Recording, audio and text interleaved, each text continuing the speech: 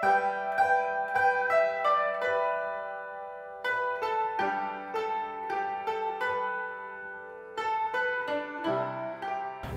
I'm Todd Fryatt with ECA Solar. I'm the president and founder of the company. We're one of the larger engineering, installation, and developers of commercial solar in New England and Massachusetts. Today, what I'm going to cover is some of the big news we got a few days ago from the Massachusetts Department of Energy Resources. In particular, my focus is going to be a little bit more on the commercial side because that's my expertise, that's my background of doing this the last 10 years. I'm going to go through the good, the bad, and some of the ugly. So first off, let's just talk about Massachusetts in general and the, and the solar market here. It's considered to be one of the most stable environments for solar in the whole country. We owe a big debt of gratitude not only to the current administration, the Governor Baker administration, as well as uh, Governor Patrick's administration, who really jump-started and got everything going in the first place. A lot of us, including myself, really missed the SREC program. That's really what put us on the map and what created so much scale in this in the space. But now as we transition to not only Smart Program 1, but now here Smart Program 2, which they've just reloaded. And the emergency regs just came out. They were filed on April 15th, 2020. And now there's a comment period between now and um, April and May. I'd encourage everyone involved, all the industry stakeholders, to file their comments. It can be done for, for, through email, and it's fairly easy to do. Um, clearly, the, the, the, state authorities in Massachusetts, from Massachusetts DOER to the DPU to um, the other authorities, including the Mass CEC, they really uh, pay attention to this stuff. They take a lot of pride in the program, and it's one of the reasons why Massachusetts is a leader in clean energy and why we have so much renewables, um, including our RPS statute and other things that are supporting the industry. But I, I feel very grateful to be from Massachusetts, to live in Massachusetts, to have a company that's based in Massachusetts, and to have the support we received over the years. Just a note and a disclaimer here my opinions uh, are mine and mine alone. So you should rely on your own reading, on your own attorneys, on your own interactions with the state authorities. I am not a government authority and I should not be the last word on a lot of these comments. So, on the good side, let's just start out with the obvious. Number one, the program has doubled. So, there's now another 1,600 megawatts of solar. It's going from 1,600 megawatts to 3,200 megawatts.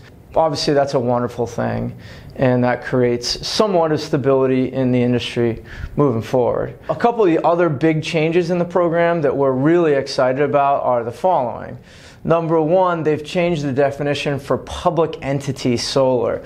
Specifically, the adder has gone up to 4 cents per kilowatt hour. Again, that's 20 years, and 4 cents per kilowatt hour for projects that involve a public entity. The biggest change in the program, specifically about that, is that you can now have sites that are pr- on private land which have a public off taker. That's a big deal. And that's a new change. We think that's a positive change, and it makes sense because if a public entity is getting 100% of the output from a project, it shouldn't matter if it's on private land, public land, brownfield, whatever. The point is that 100% of that output is being attributed to a public entity. I assume, I'm not sure that that could be either alternative on billing credits or net metering credits, but needless to say, that's a huge, huge sweeping change in the program. A couple other big changes in the uh, SMART program that I'd like to share with you that came out. We consider in the good bucket. Um, one, they've expanded uh, the definition of low income, in particular, low income neighborhoods. So you know, in general, the mean average income in our state is around $77,000. And what they're saying is 65% less of that. If you're in a neighborhood, call it that has a mean income of around $50,000, um, that will qualify for the low income incentives. That's another positive change. Um, we're still trying to, as with all the other changes, we're still trying to get our head around it. This is just my rapid feedback. Another big one that we're excited about and we really think they got right was um, a carve out for small commercial projects. That's from 25 kW AC all the way up to a half a megawatt AC.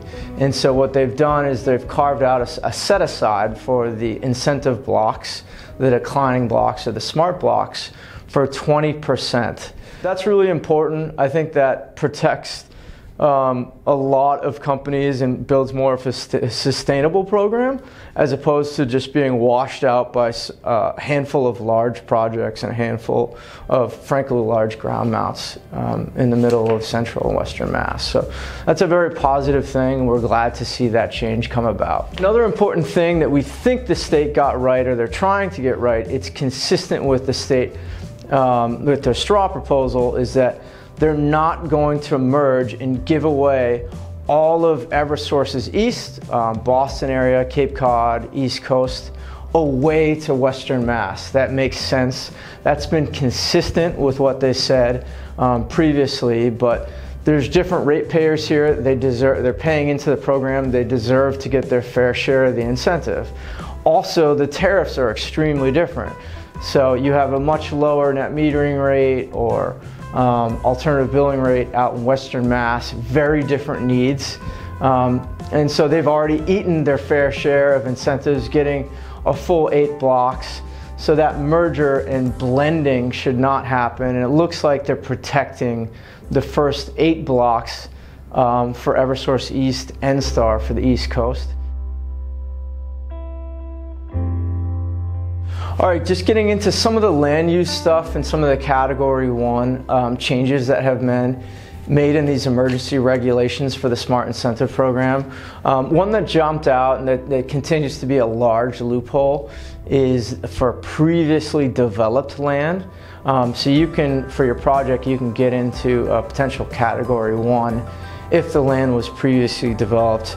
As you know in Massachusetts, very old state, very old communities, very old towns. A lot of these towns are over 400 years old. So getting into the nuances of what is previously developed is really important. We see that as a potential large loophole, maybe larger than they expected it to be. Um, but to some certain, you know, almost all the land you're going to find was developed in some aspect. Also on the land use side was um, I think a loophole that they did not intend to create, which is that now um, public, uh, public entity solar projects, which can be on private land, automatically go into that category one bucket. I would suggest um, to do it in the DPU that that be just a focus on just public land. So it, land use shouldn't be based on who the off-taker is, it should be where the land is. Um, I think that's a, probably a, a, minor oversight and a loophole that will probably close during this round of edits.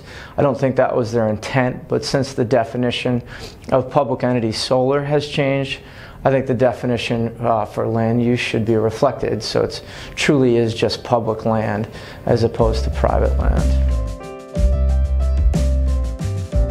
Another big positive change that just came out, which uh, we think makes a lot of sense, is on the project segmentation rules. Uh, we think that's a very positive change. So if you're working on a property where there's three different buildings and you have three separate solar arrays on those separate buildings, each one of those has the potential to get its own SMART award. There are some details and nuances there, but for us, if there's four major commercial buildings on one parcel of land, it is conceivable that each one of those, um, if they have their own interconnect and meter especially, would be entitled to their own SMART award.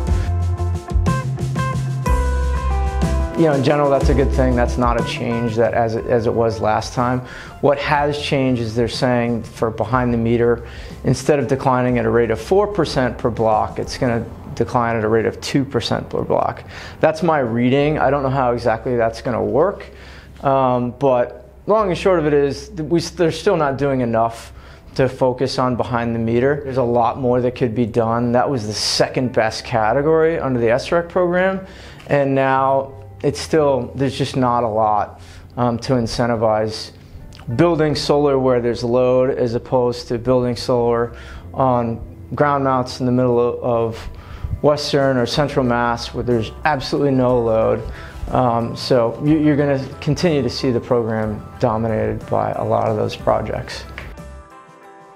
Also, if you're behind the meter, your solar incentive will be fixed from the get-go. So it's pretty simple in terms of calculating what that is. But at the same time, there isn't an additional incentive other than that to be behind the meter. They're not doing enough, we don't think. I think the heart's in the right place. On the bad bucket and some things that could maybe use a little work, um, number one, the biggest point is that the state program in Massachusetts, I think the one area where they really missed the mark is that it doesn't account for failure. It doesn't account for uh, incentives that never happen, that don't get rate based. There's hundreds and hundreds of megawatts of projects that are just never going to get done. For instance, some of the transmission studies that have come out, the New England ISO bombs that have been dropped across the state, especially in central western Mass, where they're just flooding these small towns that have 5 megawatts of load with 30, 40, 50 megawatts of projects. Those projects are never going to get done, even though some of them may have gotten interconnects for reasons we'll never understand. Um, and so the SMART doesn't account for those failures, even though half the program or a significant percentage of the program never gets done, never gets paid out, never gets rate based. It doesn't account for those. Those, those early blocks get washed out and they just assume that we live in a world where all those happen. And so unfortunately it doesn't account for that. It continues to decline 4%, 4%, 4%, and go, it's a race to the bottom. Um, that's structurally one of the biggest mistakes in places that the state missed. We would say an easy way to deal with that is just decrease the decline. So say, hey, we've had an, a, a large percentage of projects the declining rate should be 2% instead of 4% or 1% or whatever that is. Um, that would be a, a, fairly easy way to handle the awards moving forward and account for some of the fallout. Another big thing we think the state missed out on is mandating battery storage for all systems that are 500 kW. We think for a number of reasons that's going to create havoc with the utilities and with the developers. Number one, for projects that are already applied, um, or already have their ISA, they have to rip that up and reapply with a brand new, which means they could start in the they could have waited years on a wait list. They need to start all over again. And so that's a huge problem. Also, there are some projects where batteries don't make sense at all. It could be behind the meter. There's no use for batteries. It could be rooftop. It could be in an urban or industrial area where there's not even room for batteries. Or it could be in another area, let's say a brownfield or a landfill, Well, bringing in some of the hazmat and some of the issues that are in batteries onto a site like that does not make any sense and is much more high risk. Um, there are other instances for rooftop, let's say, where it creates fire problems or issues associated with the building that really shouldn't be on the site and um, shouldn't be approved. So we think um, sort of a miss uh, mandating batteries and the carve out of the exemptions for those should be much more significant. One more area where we think the state has missed the mark is just trying to create some diversity versus having a ton of large ground mount projects, um, which a lot of the cities and towns are overwhelmed are. ECA Solar does ground mount projects, like we're in it too, but at the same time, if the program is 80, 90% ground mounts, you know, I, I don't think they've achieved the diversification that they're trying to. They say that the uh, subtractor for Greenfield has been dramatically increased, but in reality, um, it's just a small speed bump. It was super tiny to begin with, and it's still super tiny. It's a rounding area. It doesn't have a, a major impact on the financial models, especially if you can just get money back doing trackers, dual axis trackers, or adding a certain plant like pollinators. So you can make it all back very easily, um, or a public ad or something like that. The subtractor tends out to be really modest and immaterial and is not going to have an impact on deterring large ground mounts that a lot of these cities and towns are fighting with now. So please feel to leave your comments below. We'd love to hear you, good and bad. I'm sure there's a lot that will disagree with, with my reading. I'm sure I've got some stuff that's not 100% accurate as well. This is just my opinion, my take on it. Thank you so much for joining. Bye.